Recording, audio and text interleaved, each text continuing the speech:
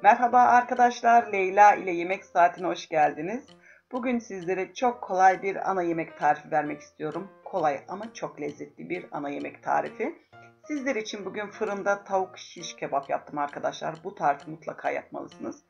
Malzemeler olarak bizlere gerekenler 2 adet tavuk göğsü, 1 çay kaşığı karabiber, 4 yemek kaşığı zeytinyağı, 1 yemek kaşığı tuzot veya tuz, 2 diş rendelenmiş sarımsak, 1 çay kaşığı kimyon, 200 gram krema ve domates ve biber lazım bizlere arkadaşlar. Dilimlenmiş olması lazım.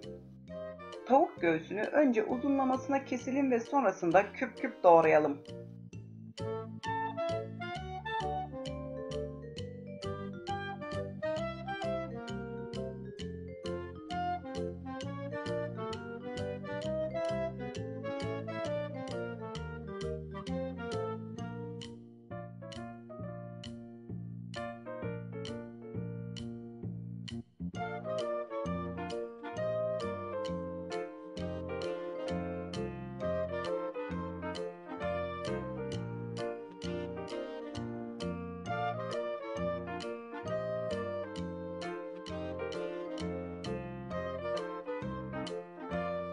Karıştırma kabımızın içine sırasıyla zeytinyağımızı, karabiberi, tuzot veya tuzu, rendelenmiş sarımsak, kimyon ve kremamızı katıp karıştıralım.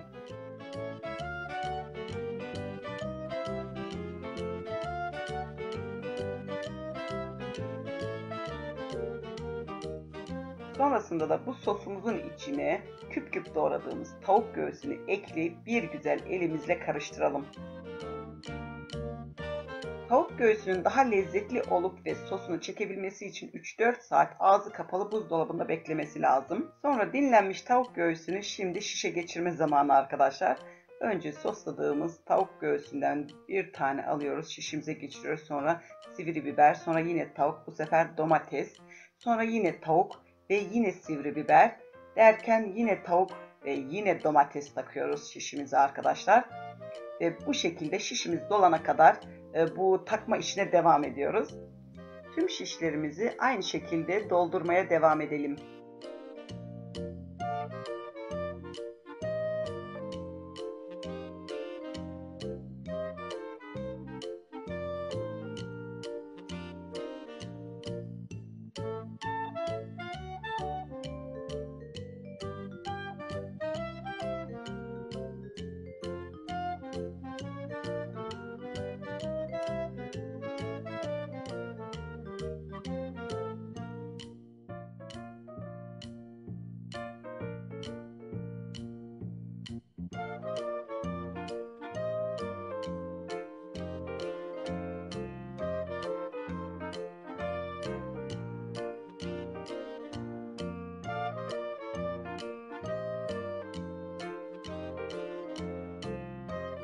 Tepsiye dizdiğimiz tavuk şişlerimizi önceden ısıtılmış 250 dereceli fırına gönderip nar gibi kızarana kadar pişirelim.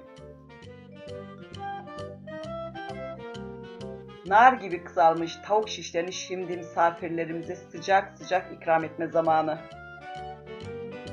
Umarım tarifimizi beğenmişsinizdir arkadaşlar. Bu tarifi bir de e, daha az soslu, daha doğrusu kremasız bir şekilde yağda kızartmıştık. Ama çoğu arkadaşımız fırına verebilir miyiz diye sormuştu. Bu şekilde yapıp fırına verirseniz daha lezzetli bir tavuk şiş kebap elde etmiş olursunuz. O yüzden tarifimizi ısrarla tavsiye ediyorum. Yanında garnitürlerini unutmuyoruz. Şimdiden tarifimizi yapan herkese afiyet olsun diyorum ve bir sonraki tarifte görüşmek ümidiyle kendinize çok iyi bakın. Hoşçakalın.